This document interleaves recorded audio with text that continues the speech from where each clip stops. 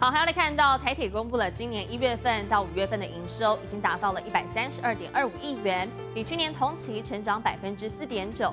随着运量提升，台铁劳工董事认为调整票价是势在必行的，否则台铁开一趟就会赔一趟。那么期待最高可以有百分之五十以内的涨幅。台铁公司董事长杜维就说了，票价调整预计下半年讨论，目前还没有实成。而航空公司也计划要调整定位服务费，未来出国玩票价将会变贵。动涨了二十九年的台铁票价，现在运量要涨价。随着运量超越疫情前水准，台铁劳工董事吴长志认为，调整票价势在必行。像是二十九年前的柴油一公升十元，如今涨到了二十几块，整整多了一倍。但台铁运量提升，票价却没有调整，再加上其他成本，根本是开一趟赔一趟。如果有可能的情况下，你现在目前票价。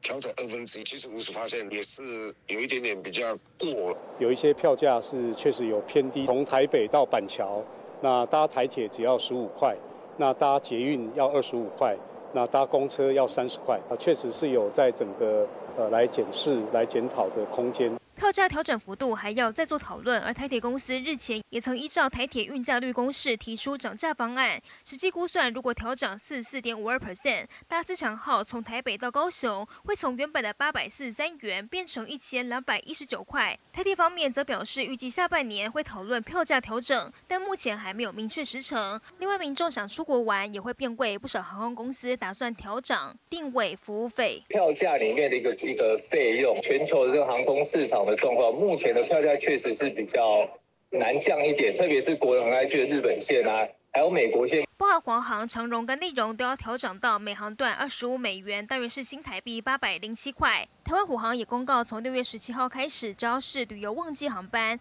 定位服务费也要调整一百块。从大众运输到航班，民众的荷包只怕又要缩水。